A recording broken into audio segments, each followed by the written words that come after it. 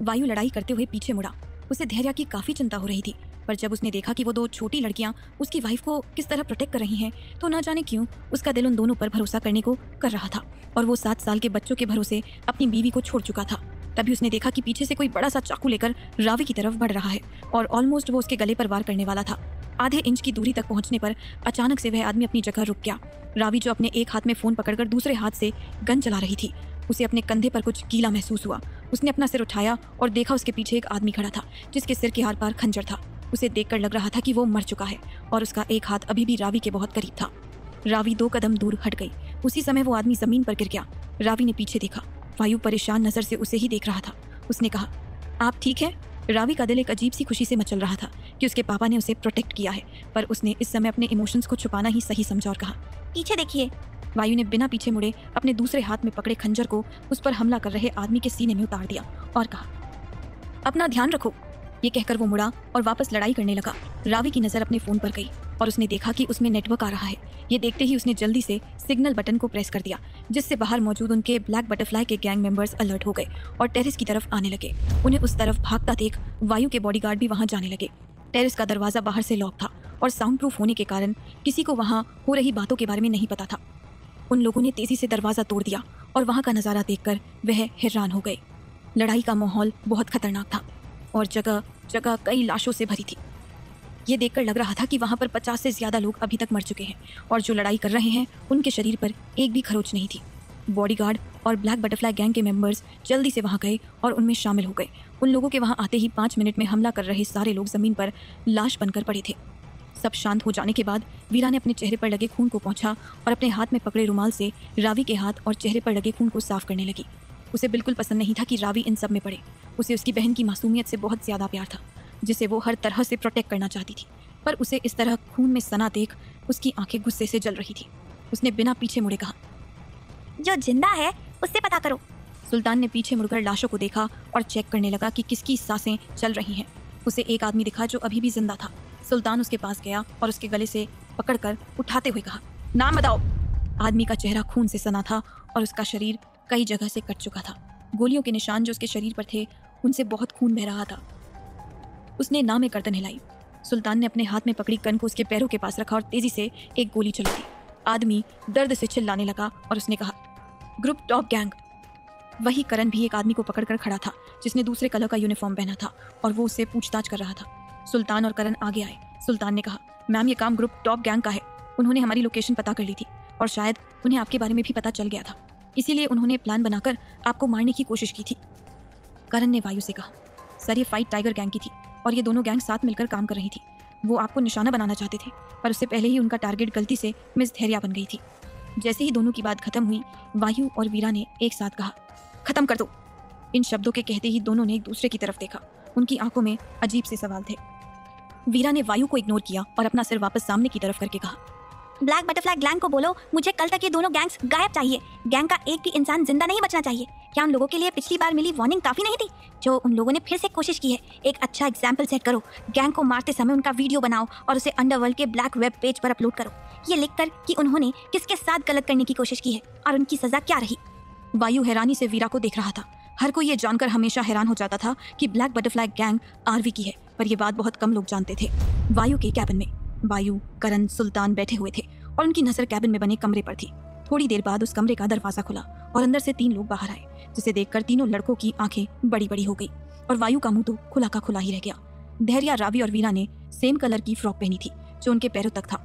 Frock के एक तरफ़ बड़ा सा लेवेंडर कलर का फ्लावर बना था और उसकी साइड से छोटी छोटी पत्तियाँ एक खूबसूरत शेप में नीचे से कमर तक बढ़ रही थी। कमर के पास एक ग्रीन कलर का बेल्ट बना हुआ था, जिस पर छोटे छोटे मोती लगे थे। नीचे से फ्रॉक पूरा डार्क पर्पल कलर में था और थोड़ा थोड़ा शाइन कर रहा था। तीनों गर्ल्स खूबसूरत परियाँ लग रही थी। ये ड्रेस सेट धैर्या ने ही डिज़ाइन किया था, जो मम्मा डॉटर सेट के नाम से था। टेरिस पर हुए हादसे के कारण सबके कपड़े बुरी तरह खून से सन चुके थे। रावी और वीरा ने व्हाइट कलर की शर्ट पहनी थी, जो लाल रंग में बदल गई थी। छोटे बच्चों के शरीर पर खून से भरे कपड़े देखकर धैर्या को बहुत बुरा लग रहा था। इसीलिए वह जल्दी से एट्थ फ्लोर पर जाकर एक सेट लेकर आ गई थी, पर गलती से वो थ्री सेट वाला पीस उठा ले आई थी। जब वो उन्हें वापस रखने जा रही थी तो वायु ने उसे भी वो पहनने को कह दिया था, क्योंकि धैर्या के कपड़ों पर भी खून लग चुका था। वायु ने सुल्तान करण को भी कपड़े दे दिए थे और खुद भी चेंज कर चुका था। तीनों लड़के एक आवाज़ से होश में आए, जो काफ़ी कठोर थी। वीरा ने कहा, क्या हम लोग भूत हैं, जो आप सब आँखें फाड़े हमें देख रहे हैं? तीनों लड़के सक पका गए और इधर उधर देखने लगे। धैर्या ने रावी और वीरा का हाथ पकड़ा और उन्हें सोफे पर बैठा कर कहा, शाम होने वाली है। हमने आपके लिए कुछ खाने को मंगवाया है। रावी ने एक्साइटेड होकर कहा, क्या उसमें चॉकलेट मिल्क शेक है? उसके कहने के तरीके और उसके कहे शब्दों को सुनकर एक पल के लिए धैर्या हैरान हो गई। वीरा ने जल्दी से रावी के हाथ को दबाया और कहा, इसे चॉकलेट मिल्क शेक बहुत पसंद है। आप उसकी बात का बुरा मन पानी है धैर्या मुस्कुराई। उसे उन दोनों लड़कियों से एक अजीब सा लगाव महसूस हो रहा था। थोड़ी देर बाद टेबल पर काफ़ी सारी खाने की चीज़ें रखी थी और सब शांति से खाना खा रहे थे। उस शांति को छोड़कर रावी अपने ही मस्त एक हाथ में बड़ा चॉकलेट मिल्क शेक का ग्लास पकड़े, दूसरे हाथ से सैंडविच खा रही थी। उसकी फेस पर थोड़ा चॉकलेट मिल्क शेक लग गया था, जिससे वो बहुत क्यूट लग रही थी। वायु एक टक रावी को देख रहा था। उसे अपने दिल में ऐसा महसूस हो रहा था जैसे उसका एक परिवार है। रावी और वीरा को देखकर वह सोच रहा था कि क्या उसके बच्चे होते तो वो भी ऐसे होते। ये सब सोचते हुए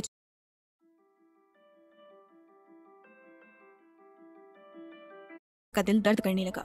उससे खुद से कहा, मैं तो कभी पिता ही नहीं बन सकता। उसे अपनी ज़िंदगी में कभी बच्चों की ज़रूरत महसूस नहीं हुई, पर अपने सामने बैठी दो लड़कियों को देखकर उसका दिल किसी ऐसे को पाने की इच्छा कर रहा था, जो उसे पापा कहे।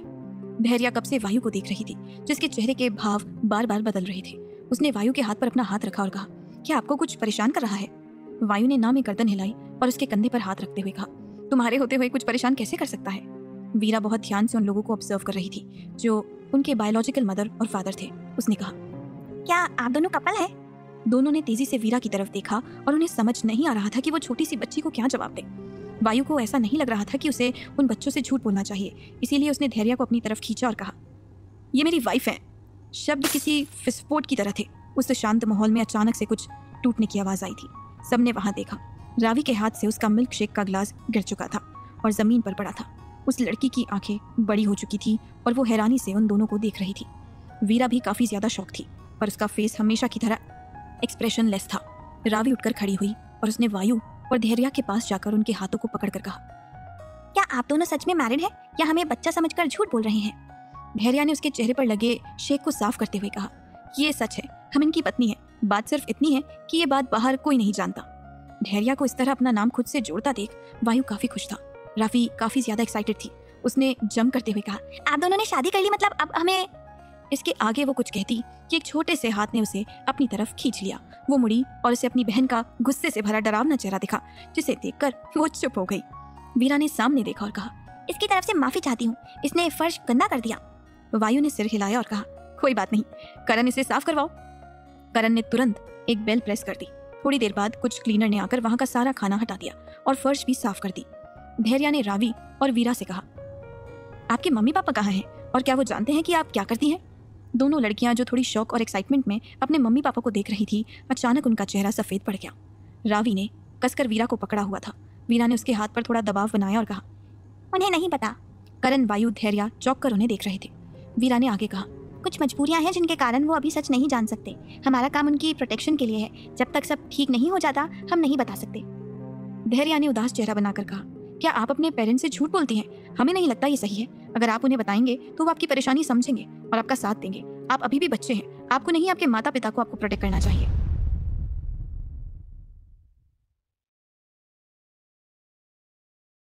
रावी और वीरा का दिल अजीब से दर्द के साथ धड़क रहा था। उनका मन कर रहा था कि अभी जाकर अपनी मम्मी को गले लगाए और कहें कि वो उनकी बेटियाँ हैं और वो सब उनसे ही छुपा रही हैं। पर उन दोनों ने अपने मन के इमोशंस को कंट्रोल करते हुए दोनों ने नाम में सिर हिला दिया और कहा, हर चीज़ का सही वक्त होता है। धैर्य ने उनके पर्सनल मैटर में ज़्यादा बोलना सही नहीं समझा। वायु ने कहा, वैसे आप दोनों का असली नाम क्या है?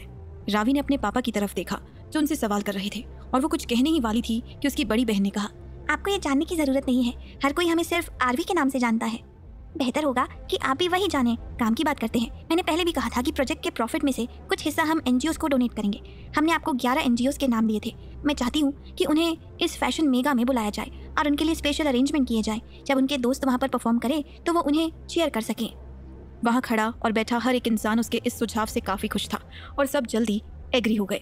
रावी और वीरा ने खड़े होते हुए कहा तो अब हमें चलना चाहिए। उन्होंने कुछ कदम आगे बढ़ा ही थे। एक बड़ी सी काली परछाई उन दोनों पर कूद गई। सब आँखें बड़ी बड़ी करके उन्हें देख रहे थे। वायु तेज़ी से आगे आया, पर रोकने की बजाय वो स्टैचू की तरह वहीं खड़ा रहा। सबने ज़मीन की तरफ़ देखा। दोनों बच्चियों के ऊपर बड़ा सा काला चीता था और वो उनके फेस को चाट रहा था और अपने सिर को उनके सीने पर रब कर रहा था। रावी खिलखिलाकर हंस रही थी, जबकि वीरा अपने चेहरे पर शांत भाव लिए उसके सिर पर हाथ फेर रही थी। वीरा ने कहा, दूर हटो। काला चीता जैसे उसकी बात सुनने का ही इंतज़ार कर रहा था। वो दूर हुआ और अपने पंजों के बल बैठकर अपनी चमकती हुई आँखों से उन्हें देखने लगा। धैर्या जल्दी से वहाँ आ गई और उसने दोनों को खड़ा करके कहा, क्या आप दोनों ठीक है? आपको लगी तो नहीं? उसने काल की तरफ़ देखा और कहा, काल, ये क्या हरकत है? काल ने जैसे ही धैर्या को देखा, उसका एक्साइटमेंट लेवल बढ़ गया। वो उनके आसपास गोल गोल चक्कर लगा रहा था। उसकी पूछ बार बार हिल रही थी और उसकी पीली आँखें बहुत चमक रही थी। उसने तीनों कोई फ्रॉक के हिस्से को अपने मुँह में दबाया और उन्हें खींचते हुए सोफे पर ले गया। तीनों हार कर उसके साथ वहाँ से चले गए और सोफे पर बैठ गए। सोफे के पास छोटा सा टेबल रखा था, जिसे काल घूर कर देख रहा था। वायु ने जैसे ही काल के उस रिएक्शन को देखा, उसने पीछे खड़े करण से कहा, इसे हटाओ। करण ने हाँ में गर्दन हिलाई और उसने वहाँ रखा कॉफ़ी टेबल हटा दिया। काल कूद कर फर्श के कारपेट पर लेट गया। फिर वो गोल गोल घूम रहा था। रावी अपनी चमकती हुई आँखों से उसे देख रही थी। उसने कहा, काल, तुम कैसे हो? धैर्य, वायु और करण ने हैरानी से रावी की तरफ़ देखा। वायु ने कहा, क्या आप इसे जानती हैं? वह पहले से ही काफ़ी शौक में था कि उसका काला चीता दो छोटी बच्चियों के साथ खेल रहा था जबकि वो उसके अलावा सिर्फ़ धैर्य के पास ही पहली बार गया था। उसे इंसानों से कांटेक्ट बनाना बिल्कुल पसंद नहीं था। वो उनसे तभी कांटेक्ट बनाता था जब उसे उन लोगों को मारना होता था और इस समय वो छोटे पपी की तरह दो छोटी लड़कियों से लिपटा हुआ था। रावी ने हाँ में गर्दन हिलाई और कहा हम जिस स्कूल में पढ़ते हैं वहाँ की ट्रिप एक्टिविटी के दौरान हम काल से मिले थे। वायु कुछ याद करने लगा। तभी उसे याद आया कि एक बार काल एक स्कूल ट्रिप में बच्चों के पास पहुँच गया था। उसने सोचा हो सकता है ये दोनों उसी ग्रुप में से हों। उसने अपना सिर झुकाकर काले चीते को देखा, जो अपना सिर धैर्य के पैरों पर रखकर अपनी आँखें उठाकर उसे देख रहा था। वो इस समय इतना मासूम लग रहा था, जैसे वो छोटी सी बिल्ली हो। धैर्य प्यार से उसके सिर पर हाथ फेर रही थी। काल के दोनों पंजे आजू बाजू बैठी लड़कियों पर थे, जैसे वह उन तीनों को वहाँ से जाने ना देना चाहता हो। पता नहीं क्यों, पर काल का इस तरह उन तीनों पर हक जमाना वायु को अच्छा नहीं लग रहा था। उसे काल से बहुत जलन हो रही थी। उसे ऐसा लग रहा था कि वो तीनों सिर्फ़ उसके पास होनी चाहिए और उन्हें हक उसे ही करना चाहिए। वायु ने सख्त आवाज़ में कहा, तुम यहाँ क्या कर रहे हो? काल ने अपना सिर घुमाया और घूर कर वायु को देखने लगा। कुछ पल तक वायु को घूरने के बाद उसने वापस अपना चेहरा धैर्य की तरफ़ घुमा लिया। रावी ने उसके सिर पर हाथ फेरा और कहा तो तुम मिस्टर वायु से गुस्सा हो? उसने अपना सिर उठाकर वायु को देखा और कहा, ये आपका बैट है। ये सच में बहुत अच्छा है। आपको पता है, जब मैं इसे उस जंगल में मिली थी तो मैं इसे वापस ले जाना चाहती थी, पर कुछ लोग इसे अपने साथ ले गए। उसने इतना कहा ही था कि राका दौड़ते हुए वहाँ आया। उसने जल्दी से अपना सर झुकाया और कहा, सर, काल ने तीन दिन से कुछ नहीं खाया और वो पूरे जंगल में जानवरों को मारने के लिए दौड़ रहा था। वो काफ़ी गुस्से में है। शब्दों के खत्म होते ही उसकी नज़र काल पर गई, जो ज़मीन पर लेता था और अपना एक पंजा गोल गोल घुमाकर छोटी बिल्ली जैसी एक्टिंग कर रहा था। ये देखकर उसकी आँखें बड़ी बड़ी हो गई। तभी उसकी नज़र सोफे पर बैठी सुंदर लड़कियों पर गई। उसने सोचा, क्या काल सिर्फ़ सुंदर लड़कियों को देखकर ही ऐसी हरकतें करता है? तभी उसे ध्यान आया, कमरे में लड़कियाँ हैं। जहाँ तक वायु की बात थी, उसके कैबिन में आना किसी को अलाउड नहीं था, जब तक वायु परमिशन ना दे। वायु ने बिना किसी भाव के राका को देखा और सख्ती से कहा तो तुम इसे यहाँ ले आए? राका ने डरते हुए कहा, सर, आपने मुझे यहाँ बुलाया था, पर फ़ोन पर आपकी आवाज़ सुनकर काल मेरे पीछे ही पड़ गया था। मुझे इसे मजबूरी में यहाँ लाना पड़ा। वायु ने गहरी सांस ली। उसका पेट अब बहुत जिद्दी होता जा रहा था। उसने मुड़कर वापस सोफे की तरफ़ देखा और काल की तरफ़ बढ़ गया। जब काल ने देखा कि वायु उसके पास आ रहा है तो वो जल्दी से उठकर बैठा और घूर कर वायु को देखने लगा। वायु अपने घुटनों के बल बैठकर अपना एक हाथ आगे करके उसने कहा अच्छा अब तुम नाराज़ क्यों हो? काल ने पंजा उठाया और वायु का हाथ झटक कर अपना मुँह दूसरी तरफ़ कर लिया। इसके बाद उसने अपनी नाक से थोड़ी आवाज़ निकाली, जैसे वह बहुत ज़्यादा गुस्सा हो। राका जो पीछे ही खड़ा था, उसने कहा, आप काफ़ी दिन से इससे मिलने नहीं आए। जब से हम सोम ठाकुर की हवेली से वापस आए हैं, तब से आप इससे नहीं मिले। वायु ने खड़े होकर पीछे मुड़ते हुए कहा अच्छा तो ठीक है, अब काल को मुझसे मिलना ही नहीं है तो मैं यहाँ से चला जाता हूँ। ये कहकर वो अपने डेस्क की तरफ़ बढ़ गया। और लैपटॉप ऑन करके बैठ गया। उसने तिरछी नज़रें करके देखा पर उसका पेट उसे भूल चुका था और खूबसूरत लड़कियों के साथ खेल रहा था। वायु को बहुत जलन हो रही थी। काल उसका पहला पेट था जिसे उसने बचपन से पाला था और वही उसके साथ ऐसा कर रहा था। वो ये सोच रहा था कि उसे अपने पास एक हल्की और कठोर आवाज़ सुनाई दी। उसने अपना सिर घुमाकर देखा। वीरा उसके पास ही खड़ी थी। उसने कहा मुझे आपसे एक और बात करनी है। वायु ने हाँ में सिर हिलाया। पता नहीं क्यों पर वीरा की नज़र वायु के पैरों की तरफ़ गई थी। उसने देखा था कि छोटे बच्चे अपने पापा की गोद में बैठते थे। जब भी उनके पापा काम करते थे, वो अपने मन में उन अच्छी भावनाओं को नहीं आने देना चाहती थी। पर जब वो चारों एक साथ थे तो वो उन सारी बातों को सोचने से खुद को रोक नहीं पा रही थी। न जाने क्यों पर वायु को उसकी मन की बात समझ आ गई थी। उसने वीरा को उठाकर अपनी गोद में बैठा लिया। वीरा का शरीर पत्थर की तरह कठोर हो गया। उसने एक्सेप्ट नहीं किया था कि वायु ऐसा कुछ करेगा, पर उसने ज़रा सा भी हिलने की हिम्मत नहीं की, जैसे वो सब एक सपने की तरह टूट कर बिखर जाएगा। वायु ने अपने लंबे हाथों को आगे किया और लैपटॉप में कुछ टाइप करने लगा। थोड़ी देर में स्क्रीन पर कुछ डॉक्यूमेंट दिखने लगे और कुछ ग्राफ भी। उसने कहा, मुझे भी आपको कुछ बताना है। देखिए, हमारे हिसाब से प्रोडक्ट लॉन्च के बाद लगभग 40 परसेंट प्रॉफिट हमें दो दिन में मिल जाएगा। कुछ कंपनी हमारे साथ उनकी एडवर्टाइजमेंट को जोड़ना चाहती है, इसीलिए उन्होंने कॉन्ट्रैक्ट भेजे हैं। आप इनमें से चुनकर बता सकती हैं कि कौन सा प्रोडक्ट हमें लॉन्चिंग के समय एडवर्टाइजिंग में दिखाना चाहिए, क्योंकि ये काम हमें बहुत जल्दी करना है। वीरा ने खुद को संभाला और लैपटॉप स्क्रीन को आगे करके देखने लगी। उसका पूरा फोकस अब काम में लग चुका था। वहीं दूसरी तरफ़, वायु अपने दिल में अजीब सी खुशी और सुकून महसूस कर रहा था, जब उसने वीरा को अपने गोद में बिठाया था। तो वो खुद भी अपने किए काम पर हैरान हो गया था। वहीं रावी, धैर्याकरण और सुल्तान आँखें बड़ी बड़ी करके उन दोनों को देख रहे थे। विश्वास करने की सबसे मुश्किल चीज़ जो उन्होंने आज तक नहीं देखी थी, वो उनके सामने था। पहला वायु जो हमेशा बच्चों से दूर रहता था और दूसरा वीरा, जिसे लोगों से कांटेक्ट बनाने से नफरत थी। दोनों ही नेगेटिव लोग एक साथ थे और बिना किसी पर ध्यान दिए अपना काम कर रहे थे। धैर्य नहीं जानती थी, पर उसे वो नज़ारा देखकर एक अजीब सी खुशी महसूस हो रही थी। काल जो चारों को देख रहा था, उसे महसूस हुआ कि उसे इग्नोर किया जा रहा है। वो ज़ोर से दहाड़ा, जिससे सबका ध्यान उसकी तरफ़ चला गया। रावी ने अपने फ़ोन से चुपके से वीरा के कुछ पिक्चर्स ले लिए और फिर ज़मीन पर काल के पास बैठकर खेलने लगी। उसने कहा, काल, तुम्हें अकेले बोर होता होगा ना? क्या तुम्हारी कोई गर्लफ्रेंड है? काल ने अपना सिर उठाकर रावी को देखा। उसका फेस ऐसा लग रहा था जैसे वह बहुत ज़्यादा कंफ्यूज हो। रावी ने अपने फ़ोन में फीमेल टाइगर के फ़ोटोज़ को सर्च किया और एक एक करके काल को दिखाने लगी। उसने कहा, मुझे बताओ, तुम्हें कौन सी पसंद है? हम उसे तुम्हारी गर्लफ्रेंड बनाएँगे? काल स्क्रीन की तरफ़ देख रहा था और कई सारे फीमेल टाइगर उसके सामने आ रही थी। तभी रावी एक फ़ोटो पर रुकी और उसने कहा, इसे देखो, ये बहुत ज़्यादा ब्यूटीफुल है. वो टाइग्रेस येलो कलर की थी, जिस पर ब्लैक कलर की काफ़ी सारी लाइंस बनी थी। वो बहुत ज़्यादा बड़ी थी और ऐसे पोस्चर में उसका फ़ोटो खींचा गया था जिसमें वो बहुत ज़्यादा सुंदर लग रही थी।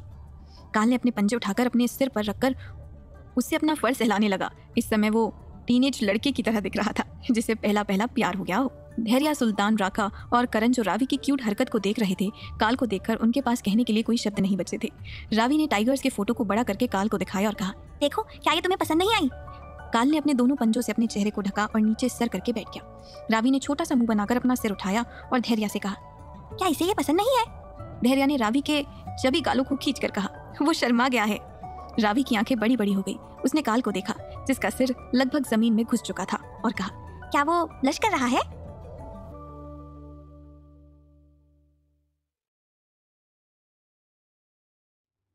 सुल्तान ने कॉल रिसीव किया। थोड़ी देर बात करने के बाद उसने चेयर पर बैठी बाप बेटी की जोड़ी को देखकर कहा, मैम, एक ज़रूरी काम है, हमें जाना होगा।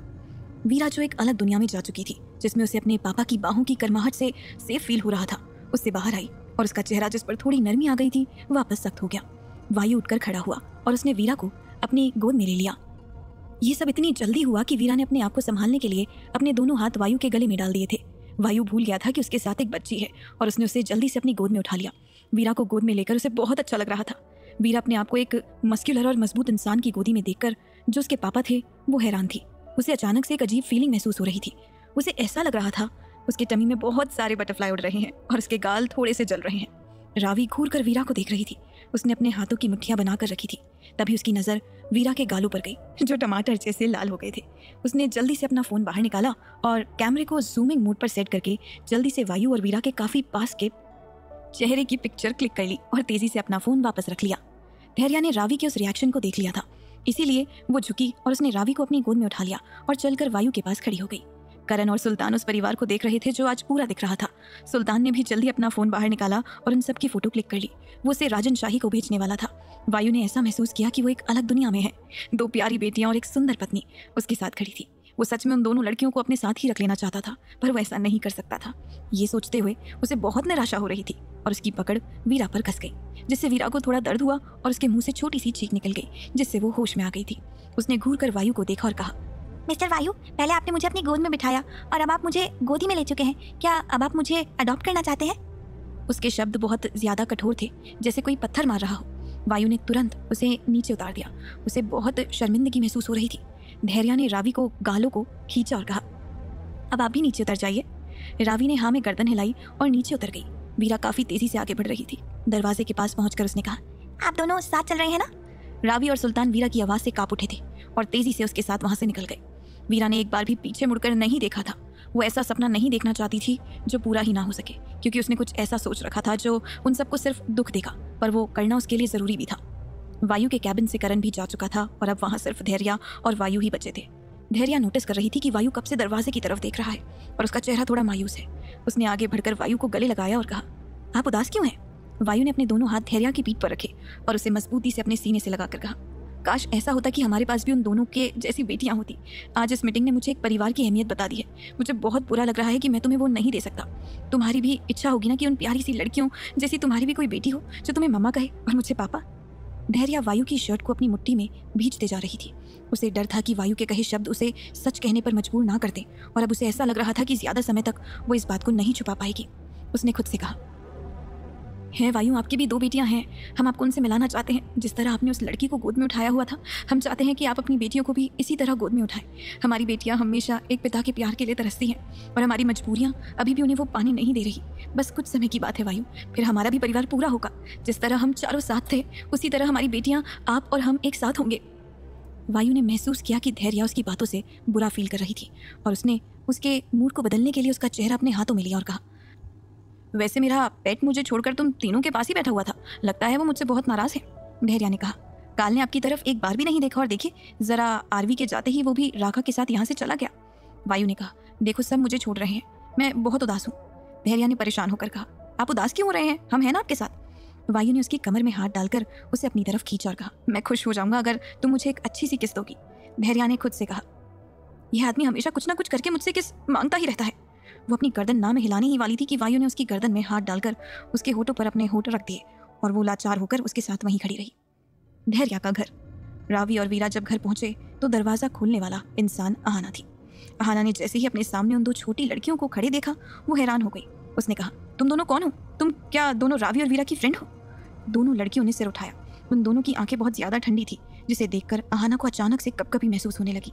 वीरा ने कहा, आहाना मौसी हट जाइए। आहाना अपनी जगह जम गई। उसने ध्यान से उन दोनों को देखा। उनका स्किन कलर बहुत डार्क था और उनकी आँखें काली थी। कोई विश्वास नहीं करेगा कि वो सुंदर और नीली आँखों वाली लड़कियाँ उसके सामने खड़ी थी। इससे पहले कि वो कुछ कहती, दोनों छोटे फिगर अपने कमरे की तरफ़ चले गए। सुल्तान आहाना को देख रहा था। जो स्टैचू की तरह खड़ी थी, उसने कहा, मैम? सुल्तान की आवाज़ सुनकर आहाना होश में आई। उसने कहा हाँ? सुल्तान ने कुछ फाइल्स लैपटॉप और एक छोटा सा बॉक्स जिसमें पेन ड्राइव रखी थी, आहाना को देते हुए कहा ये सारा सामान क्या आप आरवी मैम को दे सकती हैं? असल में उन दोनों का मूड थोड़ा ख़राब है और वो किसी से मिलना नहीं चाहती। हम सब चलते हैं। तभी आहाना ने ध्यान दिया कि वहाँ खड़ा सुल्तान अकेला इंसान नहीं था। पीछे कई सारे बिना भाव वाले लोग खड़े थे, जिनमें से एक लड़की भी थी। उन कोल्ड पर्सनालिटी वाले लोगों को देखकर आहाना का मुँह बन गया। उसने सुल्तान से धीरे से कहा, क्या वीरा के साथ रहते रहते सबकी पर्सनैलिटी उसकी जैसी हो गई है? देखो ना, ऐसा लगता है इन लोगों को हंसना ही नहीं आता। सुल्तान को उसकी बात सुनकर हँसी आ रही थी, पर वो हंस नहीं सकता था। उसने कहा, मैम, हम चलते हैं।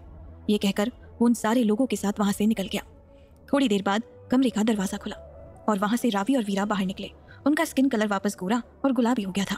उनकी काली, गहरी आँखें, उनकी झील जैसी नीली आँखों में बदल चुकी थी। मेकअप और लेंस जो उन्होंने लगाए थे, वो ऑर्गेनिक और हार्मलेस थे, जिसे उनकी कंपनी ने स्पेशली बच्चों के लिए बनाया था, ताकि अलग अलग तरह के होने वाले कॉम्पिटिशन में अपने गेटअप को चेंज करने पर उन्हें किसी भी तरह की परेशानी ना हो। पर उसके लॉन्च में अभी टाइम था। अहाना ने जैसे ही उन दोनों को देखा, उसने कहा तुम दोनों ने क्या किया था? और तुम दोनों वैसे कैसे दिख रही थी? रावी ने कहा, हम पापा से मिलने गए थे।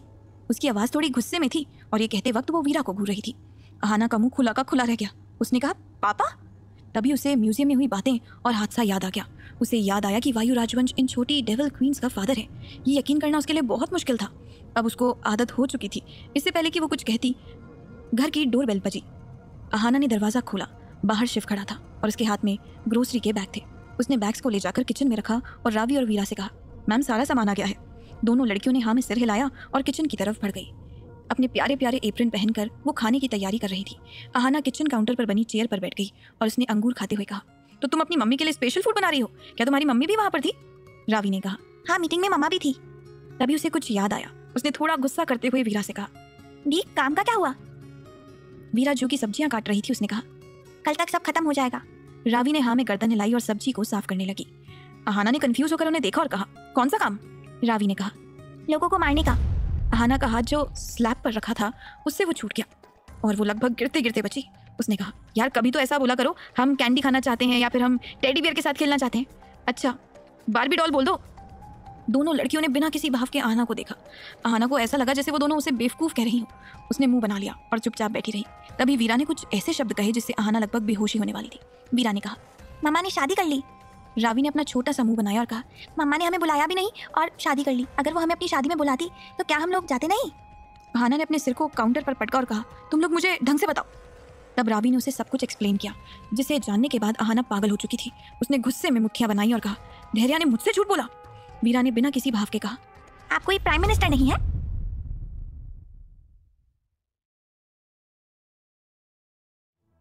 राजवंश कॉरपोरेशन ऑफ़िस आवर्स खत्म हो गए थे और धैर्या कंपनी के बाहर जा रही थी। इससे पहले कि वो अपने लिए टैक्सी को रोकती, एक सुंदर सी कार उसके सामने आकर रुकी। धैर्या बिना किसी हिचकिचाहट के उसमें जाकर बैठ गई। उसने घूर कर वायु को देखा। वायु ने प्यार से उसके चेहरे पर हाथ रखा और कहा, अब ऐसे मत देखो, वरना मैं तुम्हें जाने नहीं दूँगा। धैर्या ने अपना चेहरा दूसरी तरफ़ किया और कहा हाँ जैसे आप हमें जाने ही देते हैं। उसे उन दोनों की थोड़ी देर पहले की किस याद आ गई, जो आधे घंटे से भी ज़्यादा की थी। धैर्या को उस समय ऐसा लग रहा था जैसे वो मर जाएगी, पर उसका पति उसे छोड़ने को ही तैयार नहीं था। वायु ने उसके चेहरे के एक्सप्रेशन देखे, जिससे उसे बहुत हँसी आ रही थी। उसने कहा अच्छा ठीक है, मैं तुम्हें पहले ही सॉरी कह चुका हूँ। फिर वो उसके चेहरे की तरफ़ झुका और उसके कानों में मदहोश करने वाली आवाज़ में कहा, किस करने के लिए नहीं? तुम्हें सांस ना लेने देने के लिए। अगली बार जब मैं तुम्हें किस करूँगा तो मैं तुम्हें सांस लेने के लिए समय दे दूँगा। धैर्य ने वायु को दूर धकेला और कहा आप ना बहुत बेशरम होते जा रहे हैं। कौन कहेगा आप इतनी बड़ी कंपनी के मालिक हैं? वायु ने कार स्टार्ट की और कहा, इस समय मैं सिर्फ़ मेरी वाइफ का हस्बैंड हूँ, जो उसे उसके घर छोड़ने जा रहा है। देहरिया कार के बाहर शाम के नज़ारों को देख रही थी। स्ट्रीट लाइट की रोशनी में कई सारे लोग अपनी दुकान लगाकर बैठे थे और कपल हाथों में हाथ डालकर घूम रहे थे। हल्की हल्की हवा चल रही थी और मौसम बहुत ज़्यादा प्यारा था। वो सब देखकर धैर्या के होठों पर एक प्यारी सी मुस्कुराहट आ गई थी। तभी उसकी नज़र एक जगह गई। उसने वायु से कहा, जल्दी से गाड़ी रोकिए। वायु ने कार रोकी और परेशान होकर कहा, क्या हुआ? धैर्या ने थोड़ा हिचकिचाते हुए कहा, वह हमें कुछ सामान खरीदना है। वायु ने हाँ में गर्दन हिलाई और कहा, ठीक है, मैं एक बॉडीगार्ड को भेज देता हूँ। वो ले आएगा, उसे बता दो क्या चाहिए? ये कहकर वो अपना फ़ोन निकालने वाला था कि धैर्या ने उसके हाथ पर हाथ रखा और कहा, नहीं, हम खुद ले आएँगे। आप हमारा इंतज़ार करिए। फिर वो बिना वायु की बात सुने कार से उतर गई और सामने बनी दुकानों की तरफ़ चली गई। वायु कुछ पल तक देखता रहा, फिर वो भी उसके पीछे चला गया। उसने अपने एक हाथ से सारे बॉडीगार्ड्स को इशारा दिया था। वो सारे बॉडीगार्ड्स उस जगह पर फैल गए। धैर्या एक बड़े से शॉपिंग सेंटर के बाहर खड़ी थी। उसने अंदर जाकर सामान को देखना शुरू कर दिया। उसके चेहरे पर कंफ्यूजन साफ़ नज़र आ रहा था। एक जगह खड़े होकर उसने अपने दोनों हाथ में दो टॉयज पकड़े और खुद से कहा फ्रोजन वाली डॉल लूँ या बारबी वाली डॉल लूँ, उन्हें तो दोनों पसंद है। तभी उसे अपने पीछे से एक भारी आवाज़ सुनाई दी, दोनों ले लो। धैर्या हड़बड़ा गई और उसने पीछे मुड़कर देखा। वायु को अपने सामने खड़ा देख धैर्या का दिल तेज़ी से धड़कने लगा था। वायु ने उसके हाथ से उन दोनों डॉल को लिया और कहा, तुम्हें ये दोनों लेनी चाहिए? ये कहते हुए उसने वो दोनों डॉल ट्रॉली में रखी और धैर्या के साथ आगे चलते हुए कहा, वैसे तुम ये सब किसके लिए ले रही हो? धैर्या को इसी सवाल का डर था और वो अपने मन में बहाने सोचने लगी। उसने कहा, हमारी फ्रेंड की बेटी का बर्थडे है। उसी को गिफ्ट देना है। वायु ने हाँ में गर्दन हिलाई और कहा तो तुम दो गिफ्ट क्यों ले रही हो? धैर्या ने कहा, एक देना अच्छा नहीं लगता ना? ये कहने के बाद उसे खुद के जवाब पर बहुत शर्म आ रही थी, पर उसे कुछ तो कहना ही था। थोड़ी देर बाद वो लोग बहुत बड़े बुक्स सेक्शन के पास खड़े थे। धैर्या ध्यान से वहाँ लगी बुक्स को देख रही थी। मीरा को बुक्स बहुत पसंद थी और उसकी बेटी हमेशा किताबों से प्यार करती थी। धैर्या ने डाटा साइंस फॉर बिज़नेस और बिज़नेस इंटेलिजेंस की बुक ले ली। वीरा उसके कई बार मना करने पर भी ऐसी किताबें पढ़ती थी। इसीलिए धैर्या ने उसके लिए वही बुक्स ली। वायु ने कहा, क्या तुम इन्हें पढ़ोगी? धैर्या ने ना चाहते हुए भी हाँ में गर्दन हिला दी। थोड़ी और शॉपिंग करने के बाद उन्होंने उन गिफ्ट्स को रैप करवा लिया और उसका पेमेंट वायु ने किया। धैर्या ने भी मना नहीं किया, क्योंकि वो रावी और वीरा के लिए उनके पापा की तरफ़ से पहला तोहफा होता। फिर वो लोग वहाँ से निकल गए। शॉप में मौजूद कई सारी लड़कियाँ धैर्या को देखकर चल रही थी, क्योंकि हैंडसम आदमी उसके पीछे, उसके बैग्स को लेकर चल रहा था। और धैर्या आगे आगे चल रही थी। वायु को ये काम करने में बहुत मज़ा आ रहा था। धैर्या अपने ऊपर लोगों की जलती नज़र महसूस कर सकती थी, इसीलिए उसने अपने कदमों की रफ्तार बढ़ा दी थी। वायु ने कार को धैर्या के घर के बाहर रुका। धैर्या जैसे ही उतरने वाली थी, वायु ने उसका हाथ पकड़कर उसे अपनी तरफ़ खींच लिया। इस समय दोनों का चेहरा बहुत पास था। वायु की आँखों में थोड़ी सी निराशा थी। उसने कहा, तुम सच में चाहती हो कि मैं यहाँ से चला जाऊँ? धैर्या की दिल की धड़कन काफ़ी ज़्यादा तेज चल रही थी। उसने पहले ना में गर्दन हिलाई और फिर हाँ में जवाब दिया। वायु मुस्कुराया और उसके माथे पर किस करते हुए कहा, पता नहीं आज नींद आएगी कि नहीं? ये कहते हुए उसने धैर्या को छोड़ दिया, पर धैर्या अभी भी उसके चेहरे के सामने अपना चेहरा लेकर बैठी थी और किसी कश्मकश में थी।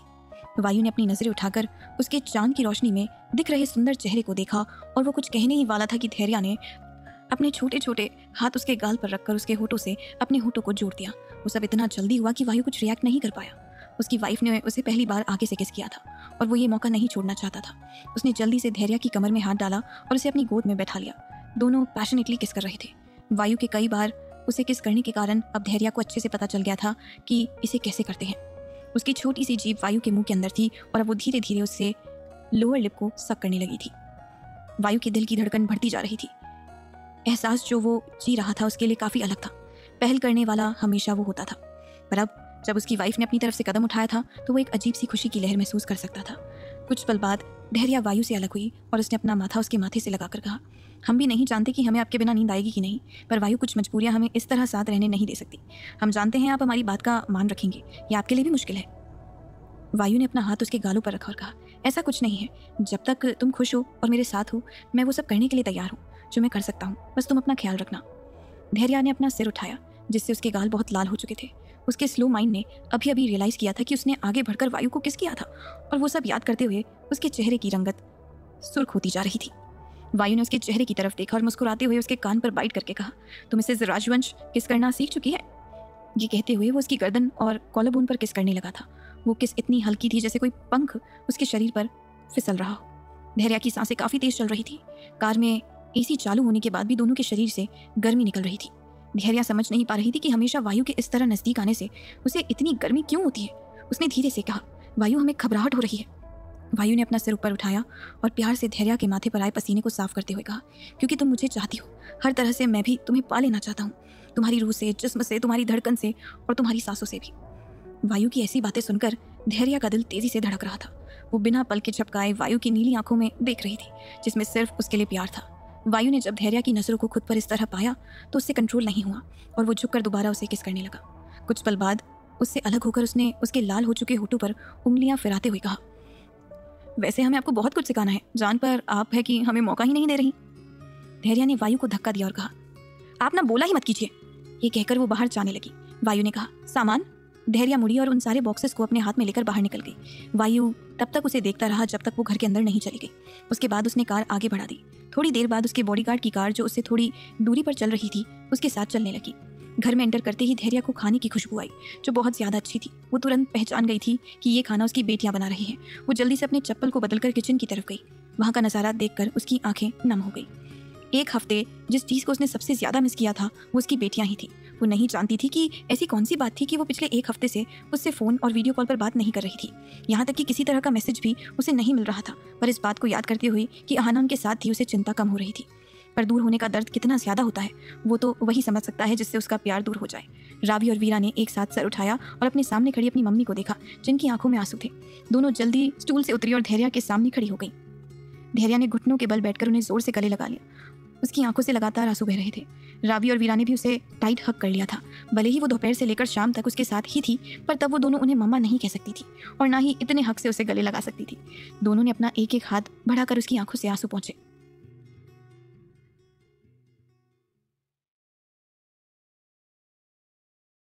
धैर्या ने गुस्से वाला चेहरा बनाया और कहा, हम आप दोनों से बात नहीं करेंगे। आपने हमें एक हफ़्ते से फ़ोन क्यों नहीं किया? क्या आप दोनों हमें भूल गई थी? इस बात का जवाब उन दोनों के ही पास नहीं था। वो दोनों कनाडा और ऑस्ट्रेलिया में थी। अगर वो वहाँ से धैर्या को फ़ोन करती तो उसे पता चल जाता कि उन्होंने इंटरनेशनल कॉल किया है। आजकल फ़ोन काफ़ी एडवांस हो चुके हैं और लोग आसानी से पता लगा लेते हैं कि उन्हें फ़ोन कहाँ से आ रहा है।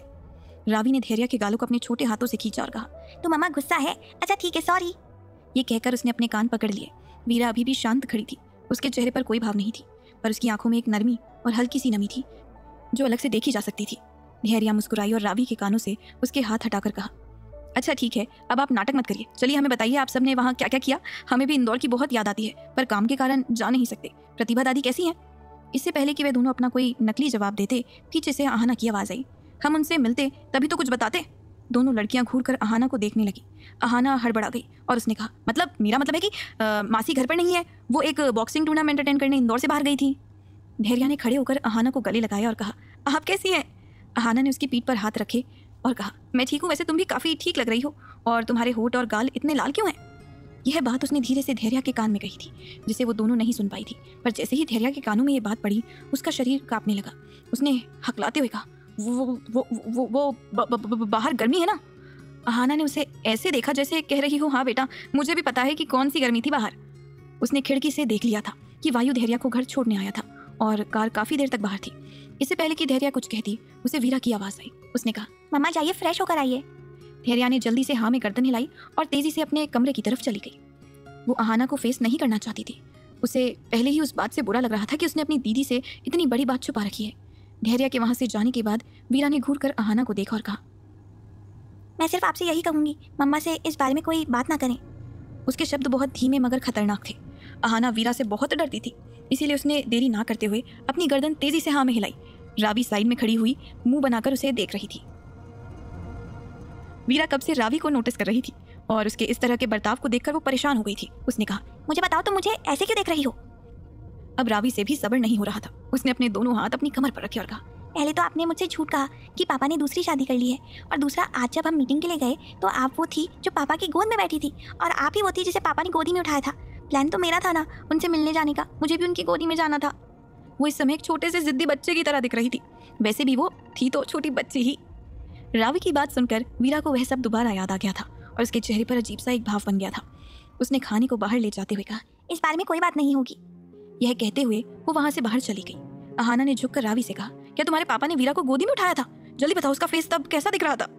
रावी थोड़ी चिड़ी हुई ज़रूर थी, पर अहाना की बात सुनकर वो एक्साइटेड हो गई थी। उसने कहा हाँ मेरे पास फ़ोटो है। आपको पता है बी के गाल टमाटर जैसे लाल हो गए थे। मेरे पास उनका फ़ोटो भी है।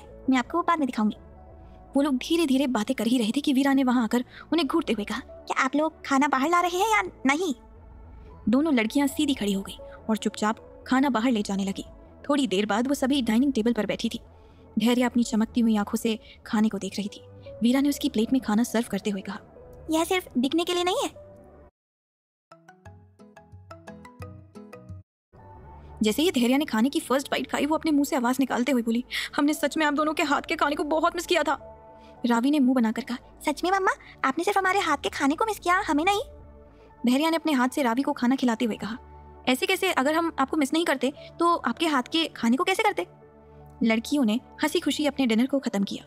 डिनर करते समय धैर्य लगातार उन तीनों से सवाल पूछे जा रही थी, और वो लोग अपने झूठे बनाए हुए जवाबों को उसे सुना रहे थे। भले ही उन्हें झूठ कहने में अच्छा नहीं लग रहा था, पर यह उनकी मजबूरी थी। धैर्य का घर, रावी और वीरा थक गए थे, इसीलिए वो अपने कमरे में जा चुके थे। धैर्या इस वक्त अहाना के कमरे में बैठी थी। अहाना उसे सीरियस लुक के साथ देख रही थी जैसे वो उसके कुछ कहने का इंतज़ार कर रही हो। धैर्या ने गहरी सांस ली और कहा दीदी आ, हमें आपको कुछ बताना है। हमने उन्हें ढूंढ लिया। अहाना ने कहा तुमने किसे ढूंढ लिया? धैर्या घबराते हुए कहा रावी और वीरा के पापा को। अहाना ने हैरान होने का नाटक करते हुए कहा क्या? तुम्हें कैसे पता चला? और वो कौन है? धैर्या ने कहा हम जिस कंपनी में काम करते हैं वो वहाँ के बॉस वायु राजवंश हैं और हमने उनसे शादी कर ली है। भले ही यह बात अहाना, वीरा और रावी के मुँह से सुनी थी, पर इसी बात को धैर्या के मुँह से सुनकर उसे गुस्सा ज़्यादा आ रहा था। उसने घूर कर धैर्या को देखा और कहा अच्छा मैं जानना चाहती हूँ, ये सब तुमने कब किया? अहाना का गुस्सा देखकर धैर्या थोड़ा डर गई थी। उसने कहा, इस बात को दो महीने से ज़्यादा हो गए हैं। अहाना ने कहा, सच में तुमने बता दिया, हमारा कोई ब्लड रिलेशन नहीं है, तभी तो तुमने इतने समय से बात मुझसे छुपा कर रखी थी। धैर्या ने अहाना के दोनों हाथ पकड़े और कहा ऐसा नहीं है, आना दीदी। हम आपको बताना चाहते थे, पर पहले हम उस शादी को नहीं मानते थे, क्योंकि उस समय वो करना हमारे लिए मजबूरी थी। पर जैसे जैसे हमने वायु के साथ समय बिताया, हमें पता चला कि वो हमसे प्यार करते हैं। आप जानती हैं, वो हमें पिछले सात सालों से ढूंढ रहे हैं। पहले हम इसीलिए मना कर रहे थे, क्योंकि हम नहीं जानते थे कि रावी और वीरा के पिता कौन है।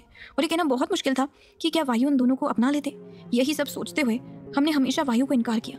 पर जब हमने उस बात को जानने की कोशिश की, आखिर कौन हमारी बेटियों का पिता है, तब मुझे पता चला कि वो वायु ही है। उस समय हमारे मन में चल रही कश्मकश खत्म हो गई थी और धीरे धीरे हमने वायु की प्यार को एक्सेप्ट कर लिया। अहाना को मुँह धैर्य की बातें सुनकर खुला का खुला रह गया था। उसने नहीं सोचा था कि सच इतना कॉम्प्लिकेटेड होगा। और उसके बाद धैर्य ने जो शब्द कहे, उसे सुनकर अहाना बुरी तरह हिल गई थी। धैर्य ने कहा, हमें पता चल गया है, हमें दिल की बीमारी है। अहाना ने डरते हुए धैर्य को देखा और कहा, मैं तुमसे झूठ नहीं कहना चाहती थी, पर तुम्हें स्ट्रेस देने के लिए मना किया गया है। धैर्य ने झूठी मुस्कुराहट बनाते हुए कहा, हम जानते हैं दीदी, आपने ये सब हमारे लिए ही किया था। पर इसका क्या फ़ायदा? हम जानते हैं कि हमारा अगले महीने ऑपरेशन होगा। हमने डॉक्टर सिद्धार्थ से भी बात की है और हम अपना इलाज भी अच्छे से करवा रहे हैं। पर हमें रावी और वीरा से बात करनी है। उन्हें उनके पिता से मिलाना है ताकि वो दोनों उन्हें अच्छे से उन्हें जान सके। अहाना ने ज़ोर से धैर्य के हाथों को दबाया और कहा, तुम क्या सोच रही हो? धैर्य ने अपना सिर ऊपर किया और कहा, वही जो आपके दिमाग में है। आप भी अच्छे से जानती हैं कि वो ऑपरेशन बहुत कठिन है और हमारे बचने के चांसेस हैं सिर्फ़ पचास परसेंट। अहाना खड़ी हुई और उसने कहा, तुम ऐसा कैसे सोच सकती हो? वो लड़कियाँ तुमसे इतना प्यार करती हैं। और तुम ये सोच रही हो कि तुम्हारे मरने के बाद उनका पिता उनका ख्याल रखे। पर कैसे? वो तो जानता ही नहीं, वह दोनों कौन है? तुम ये सही नहीं कर रही हो। अगर तुम उन दोनों पर बाप बेटी के रिश्ते बनाने का ज़बरदस्ती दबाव बनाओगी तो उनकी मेंटल हेल्थ पर बहुत असर पड़ेगा। धैर्य, समझो, डॉक्टर सिद्धार्थ बहुत अच्छे डॉक्टर हैं। वो तुम्हें कुछ नहीं होने देंगे। तुम पूरी तरह ठीक हो जाओगी। धैर्या ने कुछ नहीं कहा और वो चुपचाप वहाँ से चली गई। रावी और वीरा का कमरा। कमरा पूरी तरह शांत था और छोटी परछाइयाँ एक दूसरे को गले लगाकर बेड पर बैठी हुई थी। थोड़ी थोड़ी देर में रावी की सिसकियों की आवाज़ आ रही थी। वीरा रावी के सिर पर हाथ फेर रही थी। रावी ने कहा, क्यों मम्मा को पता चल गया? और वो ऐसा क्यों कह रही है कि वो नहीं रहेगी? दी दी आपने कहा था ना, डॉक्टर सिद्धार्थ सब ठीक कर देंगे। मम्मा हमें छोड़कर नहीं जा सकती. वीरा बिना किसी भाव के रावी के पीठ और सिर को सहला रही थी, जिससे वो शांत हो सके। उसकी छोटी बहन बुरी तरह काँप रही थी। इस समय वीरा के दिल की धड़कन भी बहुत तेज थी, जिसमें अपनी मम्मी को खोने का डर वो महसूस कर सकती थी। उसका हमेशा सख्त दिखने वाला चेहरा इस समय थोड़ा मुरझाया हुआ था। दोनों ही लड़कियों ने कमरे के बाहर खड़े होकर अपनी मम्मी और अहाना मासी की बातों को सुन लिया था और उसके बाद तुरंत वो अपने कमरे में आ गई थी। वीरा ने कहा, मैंने कहा ना, मम्मा मम्मा को कुछ नहीं होगा। अगर हम इस तरह बिहेव करेंगे तो वो ठीक कैसे होंगी? हमने प्रॉमिस किया था ना एक दूसरे से कि हम उन्हें कुछ नहीं होने देंगे। रावी ने अपना आँसू से भरा चेहरा ऊपर किया। उसकी नाक बहुत ज़्यादा लाल हो गई थी और उसने कहा हाँ हम उन्हें कुछ नहीं होने देंगे। वीरा ने रावी को बेड पर लिटाया और धीरे धीरे उसका सिर सहलाने लगी।